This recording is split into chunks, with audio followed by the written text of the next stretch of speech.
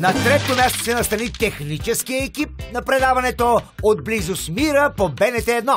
На гости на Мира Добрева са основателите на Растафари движение в България. Здравейте! Страхотни момчета, българи, расти, сплитки, а, расти, дредове, реге, въобще много чущи думи станаха. Да ми кажете обаче как а, възниква Растафари в България и кога? И кога?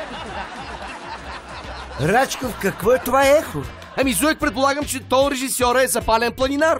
Сега очаквам да чуя едно бодро Айла Рипи! хората споделят, но имат най-различни тълкования. Ой, Ларипи, няма да чуеш. Но ще чуеш един въпрос Аламира Добрева.